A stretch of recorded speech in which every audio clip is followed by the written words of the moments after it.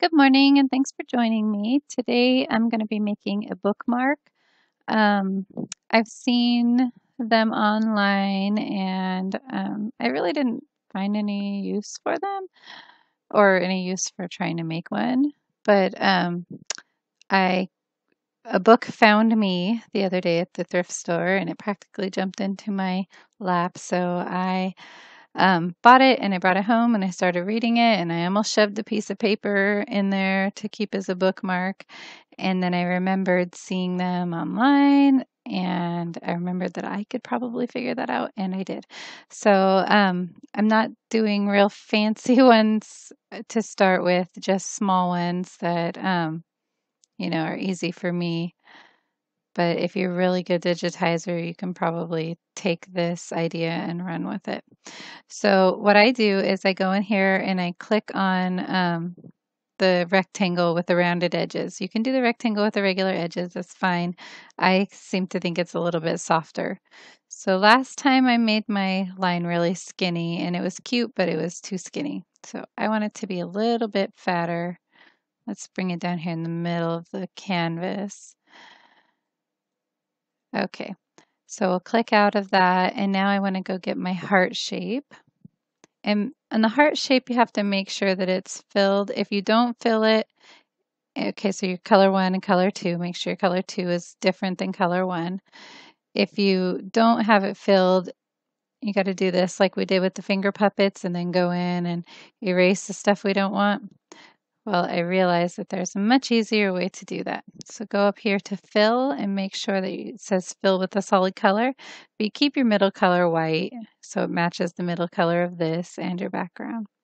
When you do that, it makes it where it covers up that part. And I like that. Okay, so you kind of want to make it a little skinny on the top, maybe not too wide. Just kind of balance it really nicely. Um, this is the part that's going to be sticking out. Okay, so we've done a million in the hoop projects, not a million, but we've done quite a few in the hoop projects, but we don't do a lot that have a fill inside of it because I like to just hurry up and get through things. But I'm going to show you guys how to, I'm going to take this bird that I found online. It's probably not free, so don't use this in anything you're trying to sell. But um, I like this bird, so I'm going to take him into paint. Sorry there. And while we have this canvas still open, we're going to hit paste. It's going to bring us our little birdie. If we try to put the bird in now, all the white edges of that picture are just going to cover up our little heart. So we're going to move it over here. We're going to zoom in on it. and we're going to go around it with the, we don't need to zoom that much. Okay, so go up here to select, freeform selection, and start wherever is easiest for you. Get as close as you can to the black, but don't actually touch the black because that black is about probably 50 colors, whereas our black is just one. And if you've played with SewArt a little bit, you understand what I mean by this bird being a million colors. it's not going to match your black. And if it does, it's going to really mess up everything. So just try to go around it as best as you can, as close as you can. And don't zoom out. I zoomed out and it undid it. So we're just going to let it basically capture around it. That way when we go to put it in there, it doesn't cover the whole heart like it did before. Okay, but we need to make it a little bit smaller so it'll fit in nice. If we go up here, it's going to cover up that and cover up all that. So we want it to go right in the middle. All right, so that's as simple as it is. We just create our image in paint and then um, hit rectangle selection. Go as close as you can to it without touching the black. Crop it. And I always have to go twice. Okay. Crop it. Okay, so that's just going to leave us with the simple image that we have for a bookmark. Okay, so now file, nope, we're not going to do that, sorry. select, select all, copy, and then we're going to open SewArt. And I did this whole video about an hour ago, and after waiting for everything to upload and everything like that, it for some reason wasn't recognizing it, so I had to do it all over again. And um, trying to remember everything that I put in the last video and trying to put stuff in this one that I forgot in the last video. So sometimes having to do the video twice isn't such a bad thing. okay, so here we are in the SewArt demo. And we don't need to posterize, even though I'm sure we're going to have like a million colors. Don't use the wizard on these. Just don't. The wizard is is set. The wizard is mostly posterizing and image reduction. Posterize an image reduction tool all at once. So everything in the wizard, you have much more control over using um, doing everything manually. You have your merge colors, which I'm still learning about.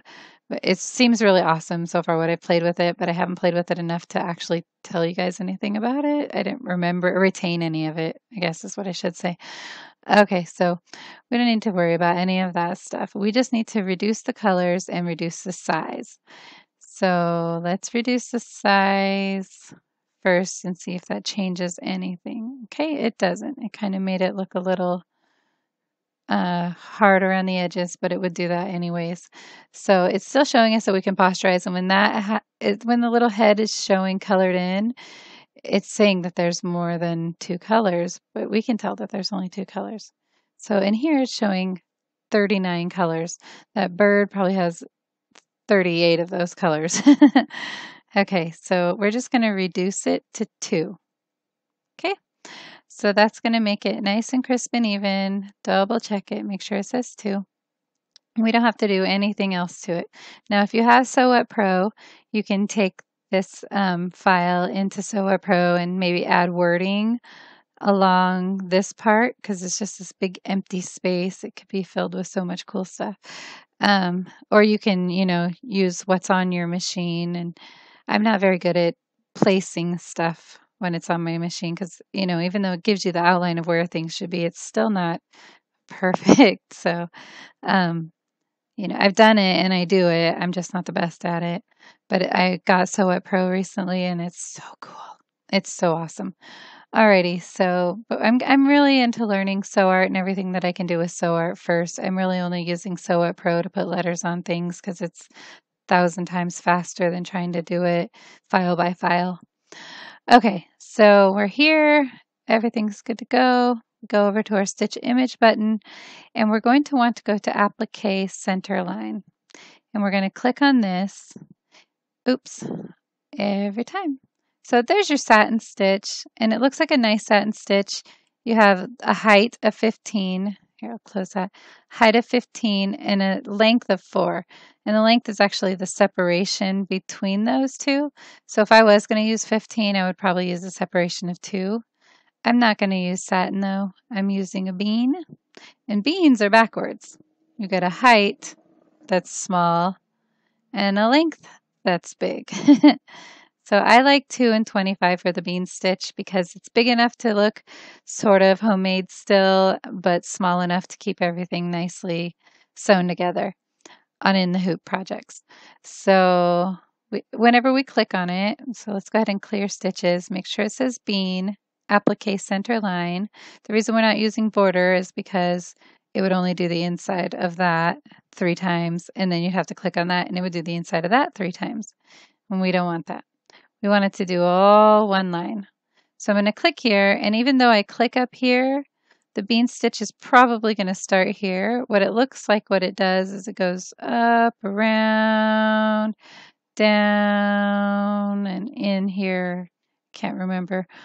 But um, you're mostly wanting to make sure that it's all nice and neat. You can tell that that's a heart. It doesn't skip over too much over there. And then we want to hit fill. We're going to click the fill button. I don't generally change anything on here.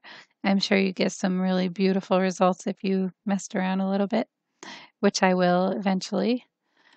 Okay, so we have our fill stitch and we have our applique. And now when we get to to our machine, we're going to file and save it and stuff like that. It's going to bring up four steps. The first step is going to be your die line and you, that's going to be right onto your stabilizer. And then you want to put your fabric over your die line and press step two.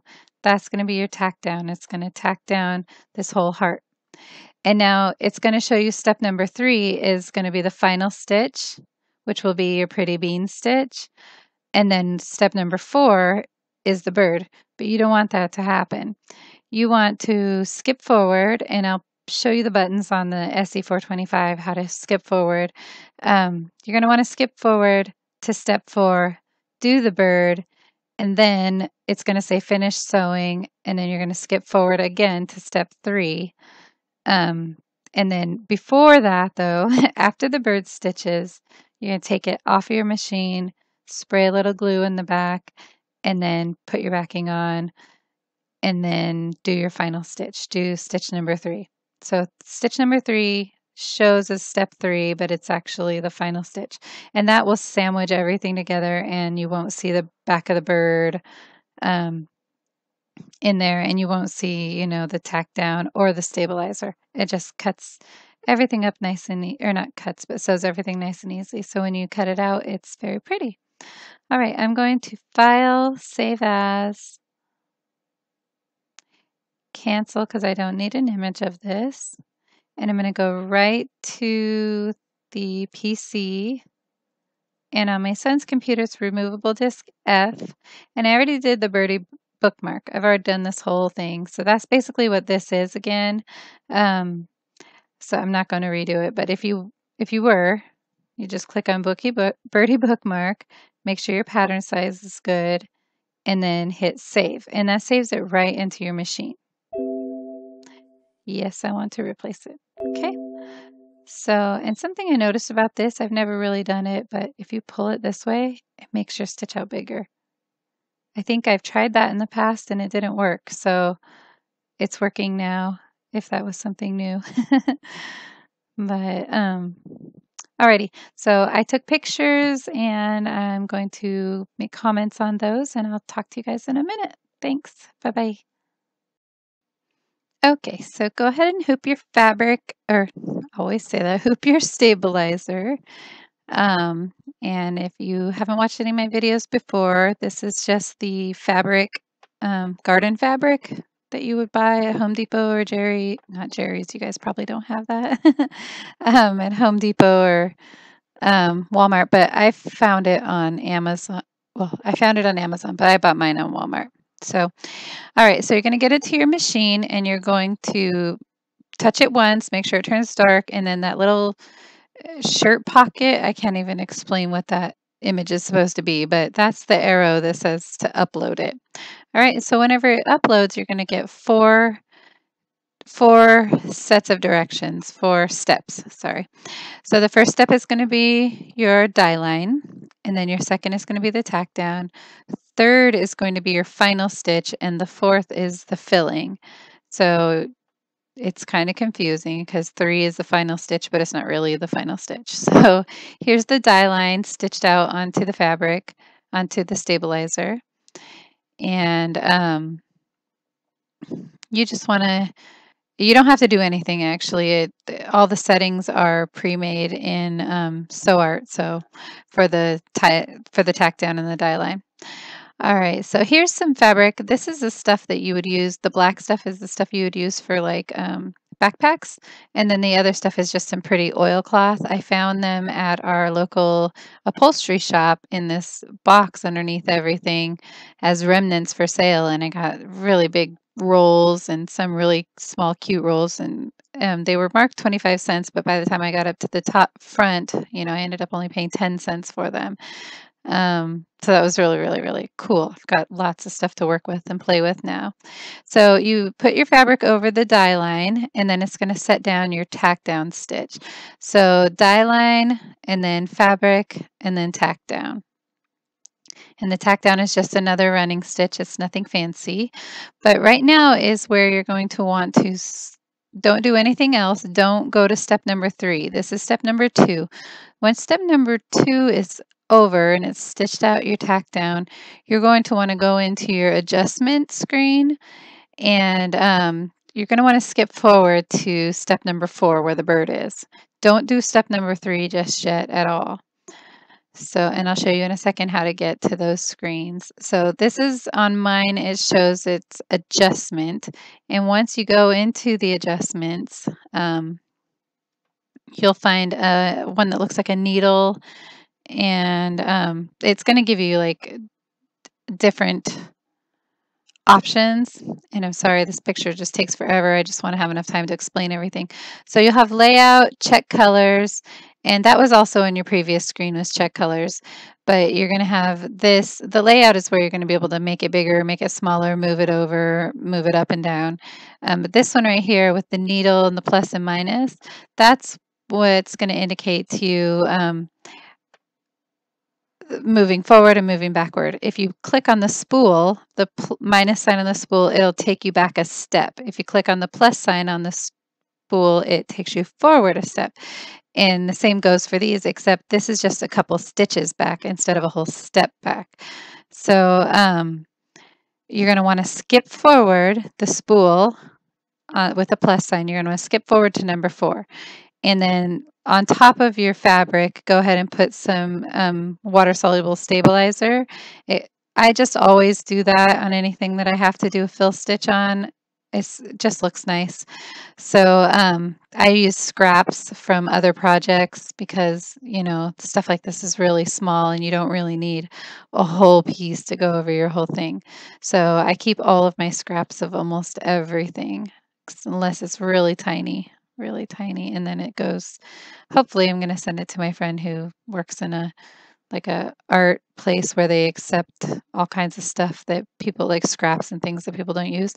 So here's the back after the bird and the die line and the tack down. And so we're going to use a little bit of glue and we're just going to spray really really gently um, you know just very light coating and a lot of people use a lot of different stuff. This is just the stuff i found at hobby lobby and it works really great. Um, a lot of people swear by 505 which i've never used. I've just seen that in other videos.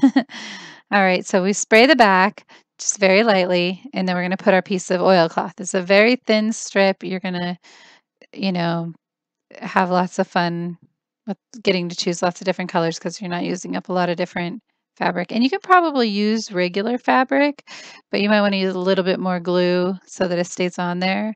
And then while you're letting that glue set, um, let's go back to the machine. It's going to show you uh, finish sewing after the bird sews out. So you're going to say, okay, and then you're going to go back in and the screen is going to give you the adjustment screen is probably where you left off. That's where I left off. And when I hit OK, it's going to just bring me back to where I was before and I want to go back, or actually, because it's going to be finished sewing, I'm going to want to scoot forward three steps and finally do number three. This is going to be our pretty bean stitch. Um, it's the final stitch. It's also going to be the stitch that holds the backing to the front and covers all the stuff in the back. So there it is at the end. It started here, even though I clicked up here in the program, it started here and did this kind of around and down you probably can't see my mouse, but you can see where it started over here on the right side. And then it just kind of followed a line around and it ended up at the bottom on the left. All right, so there's the back. So I have to trim some stuff. Once I've cut everything off, I have to trim these willy-nilly lines. But, um, you know, just cut a little bit on the outside. And because I was already using a black fabric, it's going to be great using the black stabilizer because nothing's going to show. It's just going to show black and then the blue oilcloth. So I did use pink um, thread. It's just showing out as white. But um, here's the bookmark. And there's the filling. It's all filled in really nice. You can sometimes see through stuff, but I've been noticing, you know, commercially made things and you guys really are doing wonderful, even whenever you think you're not. so there's the back side, and um, you know, it just shows you the the pink on the backside and the pretty color design. And this is not the book that inspired me to make these, but this is one of my favorite books. I can't find the other book right now, of course. Go figure.